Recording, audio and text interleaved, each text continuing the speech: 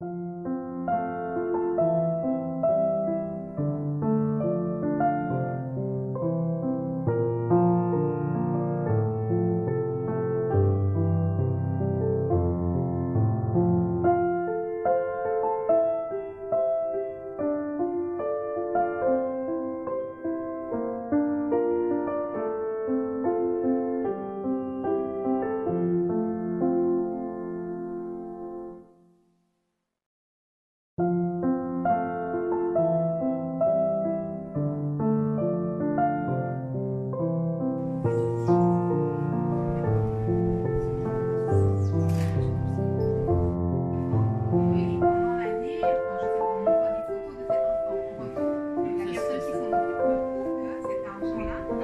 oui, vraiment.